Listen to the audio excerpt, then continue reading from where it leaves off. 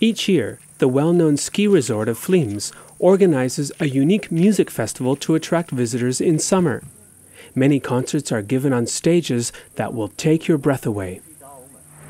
Well, the, the main idea is that we choose a location and then I try to find the right music which matches the location. Wahnsinnig schön, wahnsinnig schön. Ja.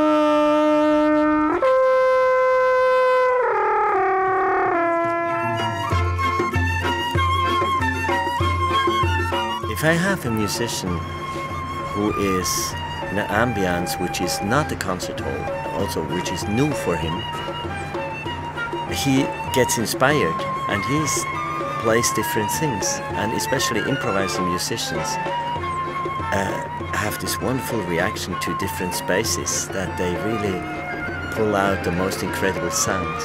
So this is one of the ideas I have, and I'm working a lot with always the same musicians.